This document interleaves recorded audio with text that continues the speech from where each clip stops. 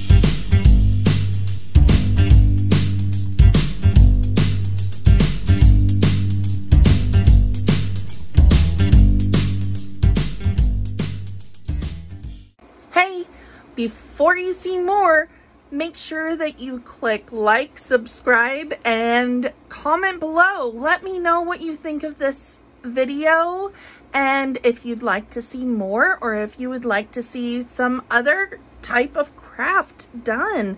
I'd love to have your opinion. Let me know. No.